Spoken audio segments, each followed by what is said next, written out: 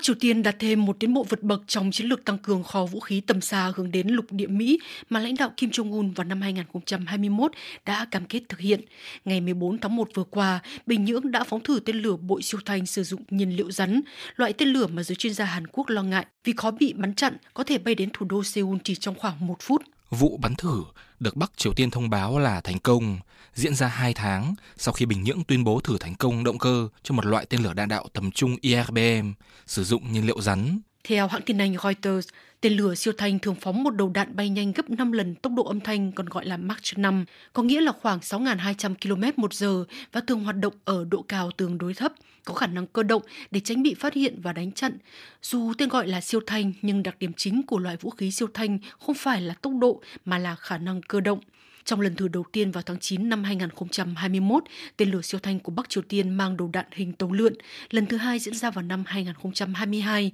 được giới phân tích quân sự Hàn Quốc cho là để thử phương tiện hồi quyền cơ động hình nón có nghĩa là một đầu đạn tên lửa đạn đạo có khả năng cơ động để đạt đến mục tiêu. Vụ thử hôm 14 tháng 1 năm 2024 là nhằm kiểm tra độ tin cậy của các động cơ nhiên liệu rắn mới và khả năng điều khiển của đầu đạn khi bay. Một tên lửa bội siêu thanh mang đầu đạn cơ động là một mối nguy hiểm.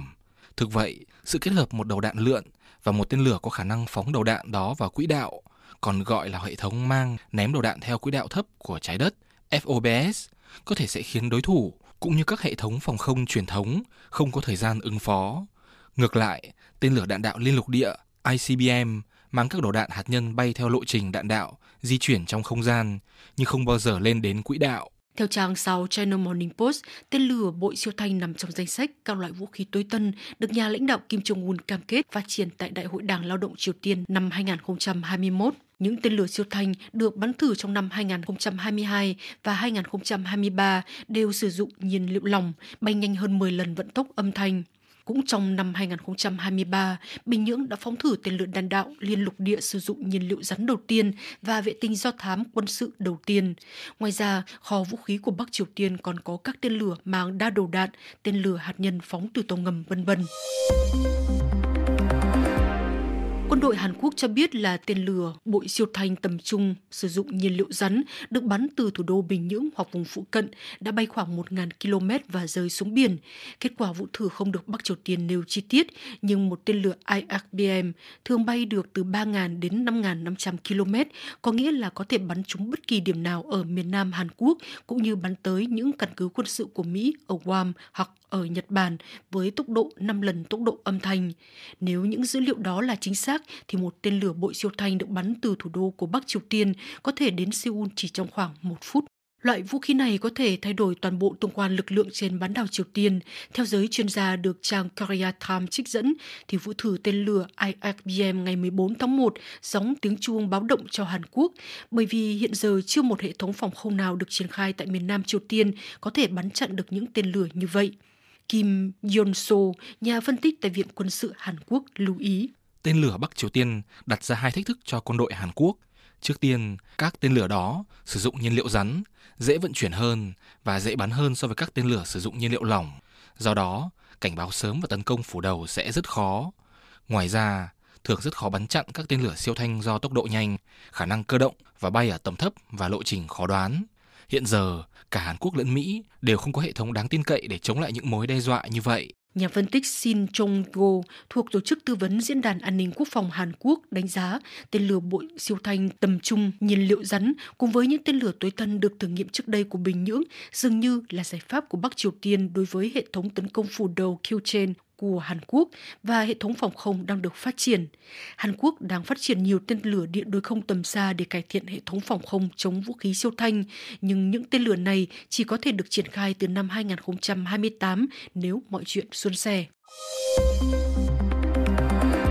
Song song với việc thị uy sức mạnh bằng quân sự với các vụ thử tên lửa, Bắc Triều Tiên không ngừng lên tiếng đe dọa Hàn Quốc và các đồng minh. Nhà lãnh đạo Kim Jong-un đề nghị Quốc hội kỳ Hàn Quốc là kẻ thù chính vào hiến pháp. Bình Nhưỡng cắt đứt mọi mối quan hệ với Seoul và đang xích gần lại với Moscow. Ngày 13 tháng 1, Ngoại trưởng Bắc Triều Tiên cho Son Hui lên đường công du Nga, ngày trước hôm Bình Nhưỡng bắn thử tên lửa bội siêu thành nhiên liệu rắn tầm trung. Live Eric Easley, giáo sư về nghiên cứu quốc tế Đại học Ewha Women Seoul cho rằng sự thị huy sức mạnh của Bình Nhưỡng không chỉ gây lo ngại cho Seoul vì Bình Nhưỡng hợp tác quân sự với Nga trong bối cảnh chiến tranh ở Ukraine, nên có thể thách thức Hoa Kỳ và các đồng minh, trong khi cả thế giới chú tâm vào Trung Đông. Một số chuyên gia khác được South China Morning Post trích dẫn tỏ ra lo ngại về việc Nga, nổi tiếng về công nghệ tên lửa siêu thanh tân tiến, có thể sẽ hỗ trợ Bình Nhưỡng phát triển phiên bản Avangard riêng. Avangard là loại tên lửa siêu thanh có khả năng mang đầu đạn hạt nhân được các nhà khoa học Nga phát triển. Tên lửa ICBM của Bắc Triều Tiên có thể vô hiệu hóa hệ thống chống tên lửa của Hàn Quốc và đe dọa các lực lượng chiến lược của Mỹ. Ví dụ các đội tàu sân bay tấn công ở Tây Thái Bình Dương. Ngoài ra, Bắc Kinh cũng có thể được lợi, theo nhà phân tích Lee Jin-go của Viện Quốc phòng Hàn Quốc. Ông nói, những kiểu tên lửa này cũng có thể được sử dụng để hỗ trợ Trung Quốc bằng cách giăn đe các tàu sân bay Mỹ tiến gần đến biển Hoa Đông nếu diễn biến tình hình không tốt đẹp ở eo biển Đài Loan. Đây là một bước tiến mới của miền Bắc trong nỗ lực tăng cường sức mạnh quân sự. Cuối năm 2023, Kim Jong-un đã yêu cầu quân đội tăng cường chuẩn bị chiến tranh trước những hành động đối đầu chưa từng có do Hoa Kỳ cầm đầu nhắm vào Bắc Triều Tiên. Ngày 15 tháng 1, lãnh đạo Bắc Triều Tiên khẳng định không né tránh chiến tranh, sẵn sàng tiêu diệt kẻ thù chính Hàn Quốc và thống nhất đất nước. Căng thẳng sẽ không giảm trong thời gian tới với hàng loạt sự kiện. Ví dụ Hàn Quốc và Mỹ sẽ tập trận chung thường niên vào tháng 3 và tháng 8. Hàn Quốc bầu quốc hội vào tháng 4, Hoa Kỳ thì bầu tổng thống và một phần quốc hội vào tháng 11 tới đây.